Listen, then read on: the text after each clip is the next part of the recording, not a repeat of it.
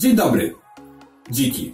W dzisiejszym materiale porozmawiamy sobie na temat Game Passa, czyli usługi będącej rajem dla miłośników fizycznych gier oraz kolekcjonerów, którzy bardzo, ale to bardzo chcą mieć gry na własność. Także zaczynamy, bo jest sporo informacji właśnie w temacie związanym z Game Passem, które chcielibyśmy dzisiaj z Wami poruszyć.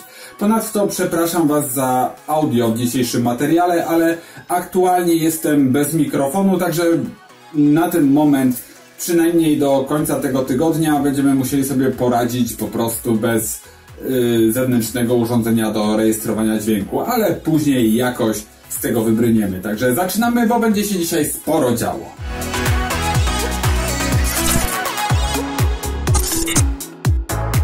No tak, stało się, koronny argument przeciwko Game Passowi właśnie upada. Ale spokojnie, nie dlatego, że coś się w usłudze zmieniło, chociaż i tak zmian jest sporo, tylko dlatego, że nas oświeciło. A dokładniej oświeciło nas, jak pogodzić Game Pass z fizycznymi kopiami gier, albo jeżeli niekoniecznie ktoś chce fizyczne kopie gier, jeżeli ktoś chce mieć po prostu gry na własność, to też wiemy jak to pogodzić. Każdy z nas zdaje sobie sprawę, że gry na premierę są bardzo drogie. I czym bardziej jesteśmy napaleni na dany tytuł, tym więcej jesteśmy w stanie zapłacić. Mówi się wprawdzie, żeby zachować zimną głowę i poczekać aż ceny opadną, ale życie uczy nas nierzadko, że mocna wola kończy się na zakupie preordera. I tutaj wchodzi Game Pass, całe na biało i mówi nam bierzcie, sprawdzajcie, ogrywajcie i cieszcie się najnowszymi tytułami za śmieszne pieniądze. A jak się Wam spodoba i zechcecie mieć dany tytuł na własność, to droga wolna. Możecie sobie śmiało kupić na wyprzedaży po raz kolejny za śmiesznie małe pieniądze.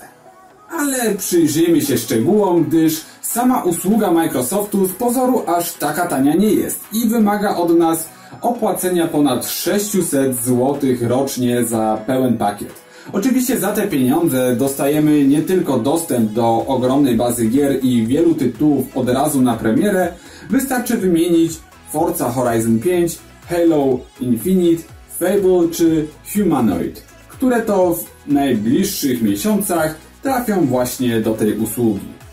Oczywiście będzie tego dużo więcej, gdyż wymieniliśmy tylko niektóre z dostępnych tytułów w usłudze, a sam Microsoft zapowiada, że z czasem premier będzie coraz więcej. Oczywiście oprócz gier dostajemy możliwość grania w chmurze, a obecnie udostępniane nam te gry są w jakości Xboxa Series X. Oznacza to, że na byle komputerze możemy cieszyć się praktycznie najwyższą jakością oprawy wizualnej. Ale dobra, bo od razu zacznie się lament, że chmura, że do kitu, że laguje i wymaga mocnego neta, a jeśli komuś to faktycznie przeszkadza, to i tak jak może skorzystać, w końcu jeśli mamy dostęp do neta, to nie musimy przecież od razu grać w najwyższych rozdzielczościach. Odpalimy gorszą oprawę, która będzie wymagać znacznie słabszego internetu i po problemie. A jeśli tak bardzo przeszkadza Wam wysoki input lag, to można z niej skorzystać choćby do samego sprawdzenia tytułu bez konieczności ściągania często ogromnych ilości danych. Ale żebyśmy tak mocno nie tragizowali i o ile faktycznie w szybkie strzelanki może być to słabe rozwiązanie, o tyle w RTS-y czy RPG nie będzie to praktycznie odczuwalne. A nawet jeśli, to przyzwyczajimy się do takiego delikatnego laga bardzo szybko. Osobiście ogrywałem Forza Horizon 4 na właśnie chmurze i przyznam szczerze, że no nawet dałem radę wygrywać wyścigi, więc źle nie było. Wspomnieliśmy o tym, że obecnie chmura Game Pass będzie oparta o Xboxy Series X. Wcześniej chmura była oparta o Xboxa One i Xboxa One X. Oczywiście w niektórych przypadkach gry będą działać w jakości Series S, ale to i tak bardzo wysoki standard.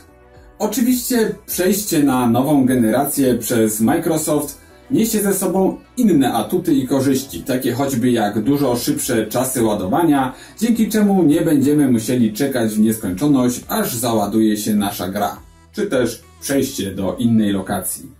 No ale co na to konkurencja? Oczywiście ostro walczy i również stara się robić ruchy w stronę swoich wielbicieli, ale jednak w zdecydowanej większości oczekują od nas, że będziemy płacić po blisko 400 zł za grę.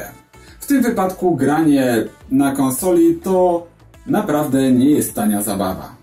I ja rozumiem, że gry mogą tyle kosztować, ponieważ produkcje nowych tytułów są coraz bardziej zaawansowane, coraz większe nakłady są wymagane i przez to kwoty, jakie twórcy oczekują od konsumenta są wyższe, ale zbliżamy się naprawdę do takiego progu cenowego, gdzie przyznam się szczerze, że będzie mi ciężko zdecydować się na dany tytuł w dniu premiery i osobiście będę jednak wolał poczekać, aż spadnie chociażby do poprzedniego wyjściowego e, modelu finansowego, czyli gdzieś tam 200 parę złotych, ponieważ no prawie 400 to no mimo wszystko dla mnie to jest cena zaporowa.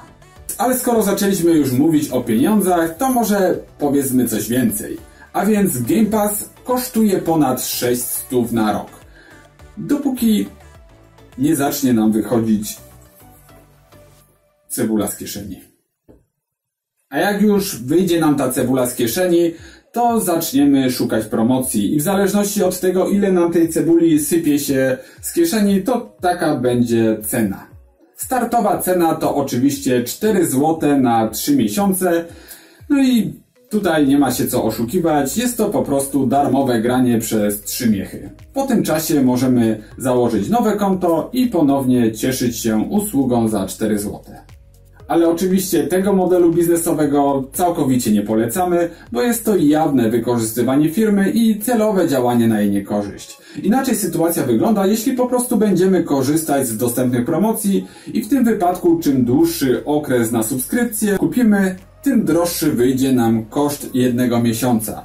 I tak jak kupimy usługę na około 9 miesięcy, koszt jednego miesiąca wyjdzie nas około 10 złotych. Jeśli zechcemy się na dłuższy okres promocyjny załapać na przykład 38 miesięcy, wtedy za miesiąc przyjdzie nam zapłacić ponad 15 zł.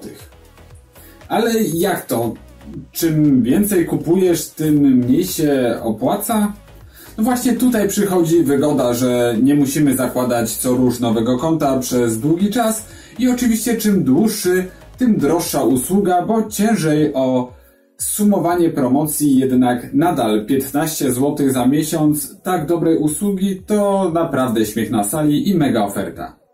I w sumie płacąc te 15 zł na miesiąc myślę, że nie jest to aż taki ból dla nas i dla naszego portfela, a mimo wszystko usługodawca tutaj Microsoft jednak na tym też korzysta i sumarycznie wszyscy są zadowoleni, a jeżeli Microsoft będzie zadowolony z opcji 15 zł, to może taka usługa będzie dla nas dostępna, jeżeli większość użytkowników będzie faktycznie do tego tematu w taki sposób podchodzić.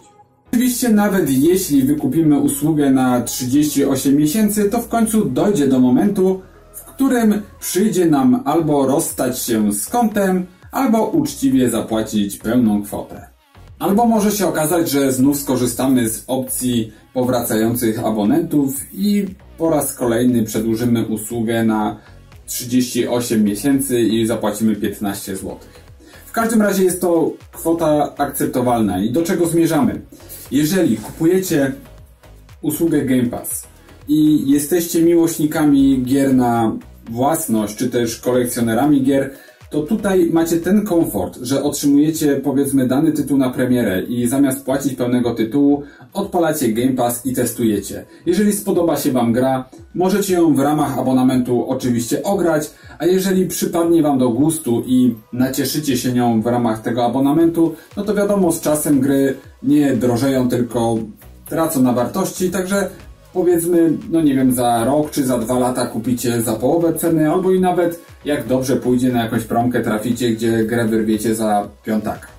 Więc no, siłą rzeczy usługa daje ogromne możliwości, bo można powiedzieć w abonamencie i to w takim niskim abonamencie jest to dobra baza wypadowa, że jeżeli faktycznie jesteśmy typem kolekcjonera i czujemy taki dyskomfort wewnętrzny, jeżeli granie jest naszą własnością, no to tutaj naprawdę są ogromne możliwości, żeby te gry sprawdzać. I wydaje nam się, że jeżeli w dobie dzisiejszych, no powiedzmy często wydawanych po prędce tytułów, możemy się przejechać przy zakupie i powiedzmy wydanie 370 zł za grę okaże się strzałem w kolano i gra będzie po prostu kiepska. A tak to odpalamy Game Passa, sprawdzamy, spoko gierka, mam ochotę, kupuję ją teraz, bo chcę docenić twórców, a jeżeli mam ochotę ją przejść po prostu w ramach usługi, przechodzę i z czasem dołączam ją do swojej biblioteki gier. Także no, tej sytuacji nikt nie traci, a przy abonamencie 15 zł,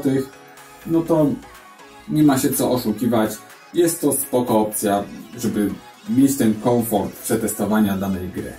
Abo tak więc, jeżeli jesteście typem gracza, który lubi mieć gry na własność, dajcie znać w komentarzu, czy nasza argumentacja do Was przemawia. A jeżeli jesteś typem gracza, który jednak preferuje usługi grania w chmurze, czy też płacenia za gry i grania w ramach abonamentu, daj znać, jakie według Ciebie są jeszcze korzyści płynące z tego, że dany abonament opłacamy i gramy w ramach usługi przykładowo Game Pass.